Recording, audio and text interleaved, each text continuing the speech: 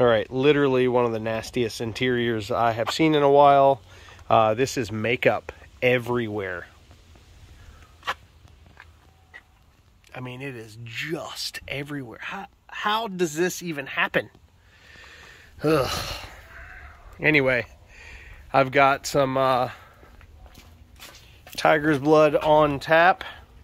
I'm going to go ahead and use that instead of antimicrobial everything cleaner on this thing because I'm not necessarily worried about the germs as much as I am just getting all of this crap off there. So um, I am going to give you a quick demo real quick of how well tiger's blood works.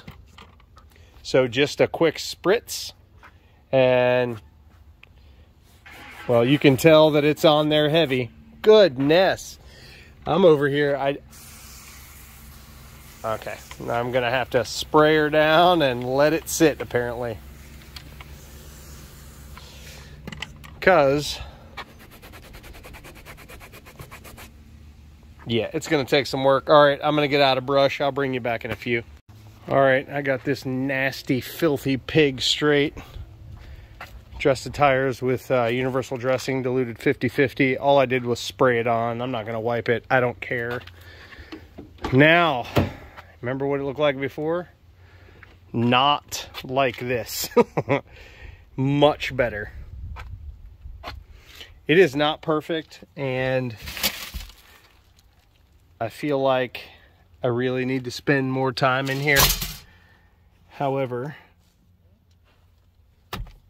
I am not going to mainly because this was a Christmas gift from my neighbor to her cousin. So, um, I got it straight. I mean, it's, it's good enough. I mean, oh, oh good God, that makeup was just everywhere. So. All right, well, I just wanted to show you guys the worst makeup polluted car I've ever seen was this one. Check out Garry Dean's Detail Juice Nation. It's a group on Facebook where we talk about only my products, my processes, and what I got going on.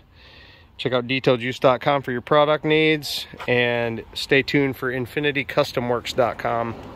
Thanks for watching, guys. I'm out of here.